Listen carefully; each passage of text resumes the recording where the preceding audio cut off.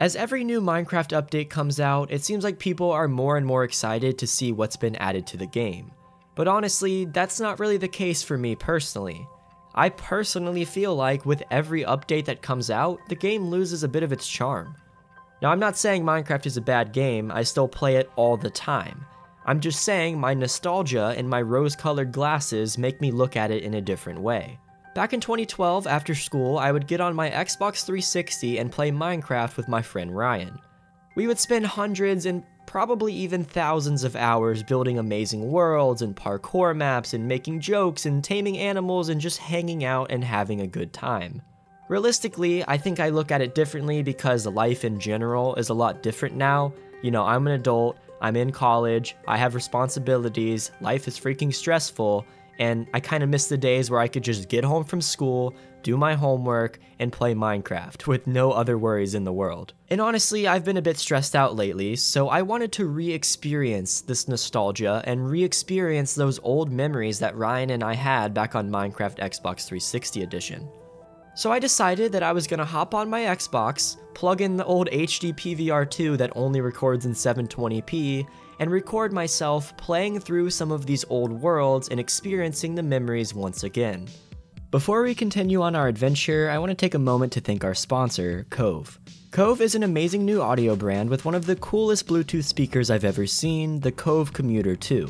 This epic speaker is my new favorite, and that's mainly due to the fact that it splits in half. Yes, you heard that right. This one speaker can break into two pieces that play stereo music. No extra connections or anything like that. So let's say you're grilling out at your apartment complex with friends and you want everyone to hear what you're playing. Simply split it in two and now you basically have two speakers for the price of one. It gets extremely loud too, so you can use it in any environment. This bad boy can run up to 7 hours on a single charge, is water resistant, and has a range of up to 30 feet. Plus, if you're interested, you could get up to 68% off your order by clicking the link in the description and using code ROBO68 at checkout.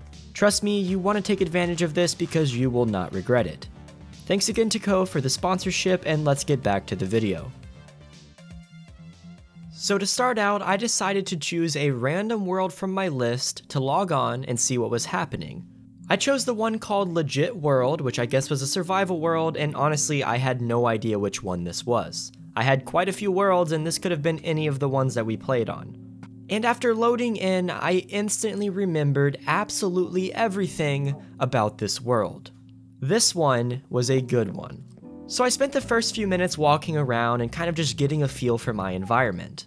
This was back when we had a huge obsession with three things taming dogs, giant mushrooms, and of course, everyone's favorite, building a house on stilts. I don't ever know why we did this because obviously, looking at our house, it wasn't the nicest, but who freaking cares? It was a lot of fun. As I walked around, I noticed an eerie, empty feeling, and I couldn't quite put my finger on it. I heard the constant whines of the dogs who have been sitting here for over 8 years without any company whatsoever. No food, no pets, nothing. They're just sitting here, waiting for Ryan and I's return. As I walked around a bit more, I noticed something really interesting and something that I'm really glad existed a timeline. Our first night in the world was spent all the way back in November of 2012, and then the next day we found our first diamond, and a few days later we made the first bookshelf. Once we made our enchantment table, we for some reason moved on with life and decided never to get on this world ever again. Walking into our house, it was divided into two sides. On the right was my side, TLG Scopes at the time, that was my name, and then across the way was Ryan's side. Both of the doors said do not enter. Now, obviously, I could enter my own house, but I'm gonna respect Ryan's wishes and I'm gonna avoid going inside of his. It seems like we had a decent amount of materials, nothing crazy, but we did have enchanted diamond tools and some armor and some basic resources, so we were in a pretty good position. Around the back, we set up a bit of a memorial service for someone named Dumbledog, which I think was our second dog, because our first dog is buried over here, and uh, his name was Dumbledork. Gotta love that edgy middle school humor throwing the word dork in a name. Oh my god, what a criminal. I looked around for our secret chest because it was almost guaranteed that we would have one, but I couldn't find it, and honestly, in this entire video, I couldn't find it, which is kind of disappointing. And at this point, I realized that our house was ugly, and my first project today was going to be improving the look of it without changing any of the major features. Think of it as a cosmetic overhaul instead of a complete redo. I want to keep the frame where I can keep the memories, but I want to make it look a little nicer. I determined I wanted to make it nicer by using brick accents. We built the pillars out of brick, and back in the day, Ryan and I were just so obsessed with brick, and I really don't know why. It just felt like a cool, unique, kind of rare block, and what better way to decorate our house than by using our old favorite block? So I went around and gathered some clay in order to smelt some bricks, threw them in the furnaces, and then started out by decorating the wall with the signs on it. This was probably the most important thing in the entire world, so I wanted to start with making it look nice. From here, I moved on to the stairs leading up to the house. Now, these things were absolutely hideous. We had like a weird cobblestone thing on the side with way too many torches, and it just didn't look right, so I figured I would start by changing this to stone brick. And then at one point, I needed more materials, so I had to look in Ryan's house, again, I'm sorry Ryan, in order to see if he had anything, and I was blown away by the memories. So I started out by seeing Ryan's dogs just patiently sitting there waiting for his return, like I said, and then I realized that this man like loaded up his house with item frames full of diamonds in them, which was kind of greedy, bro. You know, we should share these diamonds, but I see how it is. Then we have the sign on the first diamond block made. It says the legendary Beer diamond block, and that was because uh, at the time our clan name was Beer, B33R. It was like a gun in Black Ops 2. So that was pretty cool to see.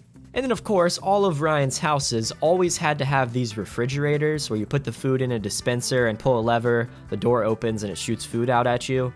Like I said, if Ryan's house was missing one of these, then honestly it would be disappointing. So at this point, after changing out the cobblestone stairway leading up to the entrance, I realized that we also needed to change out the cobblestone accents on the house because it just didn't look right. So I went through and mined out the entire second floor along with the little accent pieces on the outside, then I replaced them all with stone bricks, and honestly, it was starting to come together a little bit better. From here, I realized the balcony was pretty scuffed. That was definitely something that 11 or 12 year old me would have created, but I'm a better Minecrafter now, and I think I could definitely do a better job.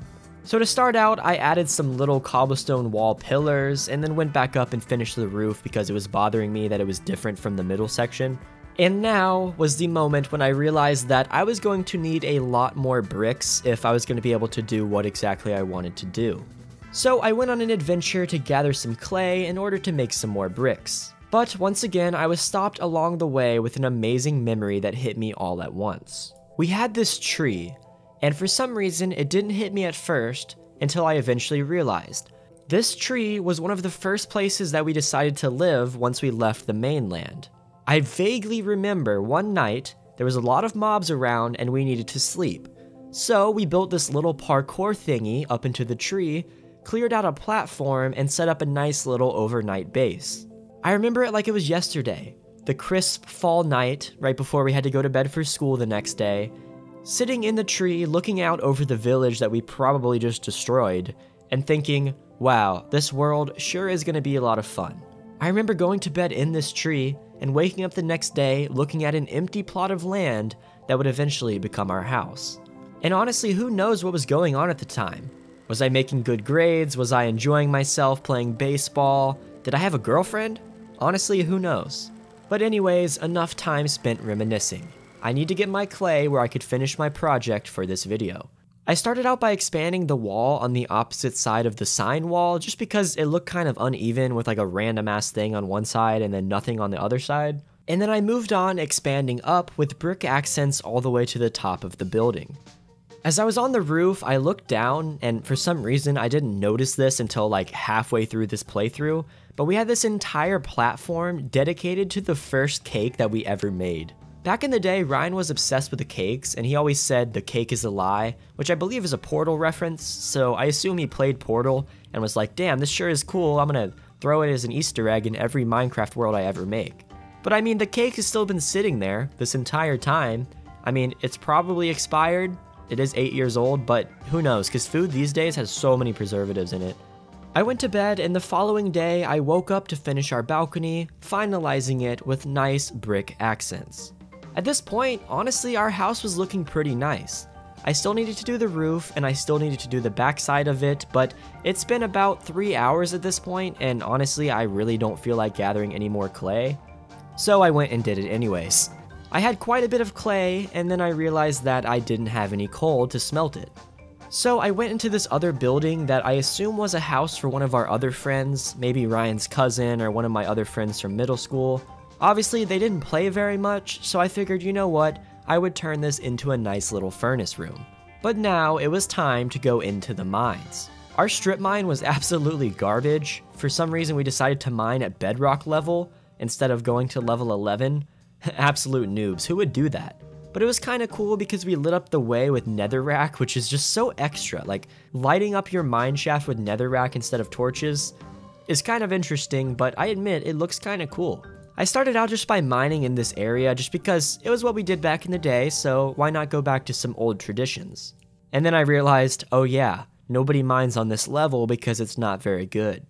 As I pulled out the map, the old way to check what level you were on, I realized that this map has been generated for so freaking long. I noticed that there was our house on the little peninsula along with the village above it, but that there was also some structures in the middle of the desert. I'm not too sure what those were, but they honestly caught my attention, and I put it in the back of my mind to go over and check them out later. I went down into the cave and found some coal and even a bit of diamonds, and eventually I found an abandoned mine shaft. I explored this for a bit, found a decent amount of loot, and then eventually found three mob spawners. I got lost, and as I was digging up, I dug into two mob spawners in the same area, which was kind of interesting. I don't remember ever seeing that before. At this point, we're about 6 hours into this recording, and I started to realize how fun this is. For some reason, like I said, I don't enjoy modern Minecraft as much as I enjoy this. I was actually motivated to hop back onto these worlds and play through them, but while playing normal Minecraft, that's not the case. I get a little bit bored, and eventually I'll close down a world, never to go back on it again. I don't know what it is about these old worlds that make them so special, but they hold a deep place in my heart, and honestly, I had a really good time playing on it. It's not over yet though. I have to add to the wall and check out what those other buildings were. So throughout the process, I added a sign saying whenever we finish rebuilding the house, I mean, I finished rebuilding the front of the house, but uh, we're just gonna say we did the whole thing. But now it was time to put our coal into the furnaces to smelt the bricks and then go exploring. As I started walking around the world, I noticed two things. First of all, as they've updated this game from like 20 different versions from when the last time I played it was, it has gotten very freaking laggy. I don't know if the Xbox 360 just can't handle it or what the issue was, but chunk generation was like watching a PowerPoint. It was absolutely ridiculous. But after suffering through lots of frame lag, I eventually got to an abandoned village with some very interesting decorating choices. We built a stone tunnel between some of the houses and like connected all of the village houses into one, which was kind of interesting. So obviously we did live here at one point, but I think that was the only thing here. Because for some reason, it was eerily quiet and I didn't see any motion or any life whatsoever. Then we went over to another village and it was the same thing. It was dead, empty, and desolate. And at this point, I'm gonna swing back around to what I said earlier. The world felt weird. It felt strange, almost like we were walking around the land of someone who died and I just couldn't quite put my finger on it. But I started to realize that the world felt dead because of the lack of players. I didn't have Ryan to goof around with and make immature jokes about stupid things. Ryan now has a kid and is working a full time job. He probably hasn't even thought about this world in years, and honestly, neither have I. I'm a full time college student, working on YouTube and doing a bunch of other stuff. Our lives have moved on, but the world hasn't. Everything is exactly how we left it so long ago, and it's kind of neglected, just like every other world that's loaded up on my old Xbox. Playing through this made me eerily nostalgic, wishing for the old times that are never going to come back. There will never be a time in my life ever again that I have as few responsibilities as I did at this time. Never again will I be able to hop on a Minecraft world and experience no stresses whatsoever except for the occasional creeper. As we get older, that childlike innocence that we used to have is one of those things that we will never get back. We've seen too much stuff going on in the world, and honestly, it's kind of impossible to remain innocent at an older age. So, like I said, hopping on this was extremely refreshing. It gave me a new take, and honestly, I'm gonna try to experience life differently over the next few months. I need to realize that we make memories every single day, and I need to experience life in the moment. I need to get off social media, get off my phone, and just enjoy my time alive. Back in the day, if I would have spent every waking minute while I was on these worlds multitasking and browsing Instagram and Snapchatting people, I don't think it would be the same effect today. I would have been so distracted by what was going on that I wouldn't have these fond memories of how amazing the world is. This video isn't scripted, and I'm kind of turning this into something else, but I feel like it needs to be said. Live life in the moment where you can experience the nostalgia in the future. Reminiscing on memories that you were actually there for are a lot better than reminiscing on vague memories where you were sitting on Instagram while you're at dinner with your relative who is now no longer around. I never thought that hopping on a Minecraft world would change my life perspective, but it kind of did. And I know it could be looked at as a little bit cringe to say these things, but I genuinely mean it. But I will say this was a lot of fun. I did really enjoy this. Oh, and a little side note I found a bird and I brought him back with me, and then he ran into a cactus. So I made another grave for uh, Dumbledore the second, the new bird who is now dead in a cactus. So I, I apologize to the bird. It, it was kind of your fault for flying into it, but I did kind of bother you because you were just vibing and chilling. Let me know in the comments if you would like to see something else like this where I try this on other worlds or something along those lines. This was a bit of a long video, but like I said, it was a lot of fun. I hope you guys enjoyed, and I will see you next time. Peace.